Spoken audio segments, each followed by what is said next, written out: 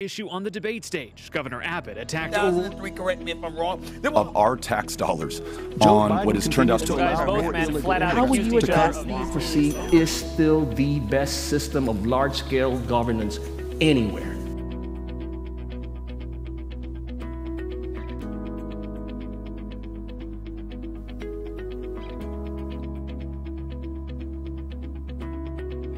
So the third annual Ignite Institute Political Forum will be held here on Thursday, October 20th. We have uh, candidates from six different races running for State House, State Senate, and U.S. House that will all be here.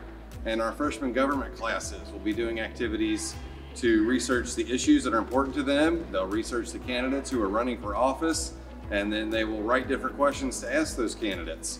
And some of them will be selected to actually participate in the forum and ask the candidates live their questions. So for most of them, we'll have a live debate between the two different candidates running for office.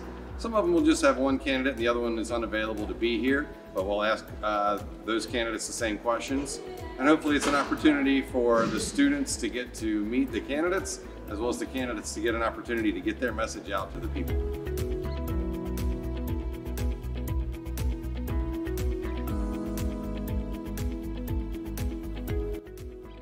So here at Ignite, we think it's important for students to have authentic learning experiences. So instead of just studying the US government, these students are going to be active participants in it. Um, we want them to realize that even though these are freshmen, so they're like 14, 15 years old, they still have the agency and the ability to affect the world around them.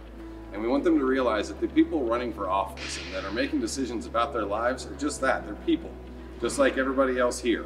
And as citizens, they have, our students have the right and even the duty to question them and hold them accountable uh, for the decisions that they make. So that's what we really want the students to get out of this event. That's why we hold it here. And that's why we have the students interacting live with these people who are making decisions about their lives.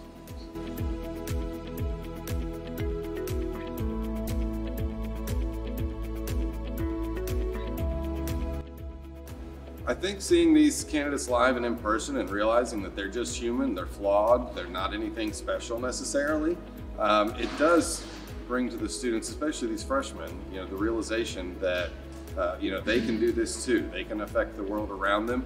There's different things they can do, even though they can't vote. They can organize, um, they can influence people, they can educate people about certain issues, and they can advocate for themselves and for other people around them.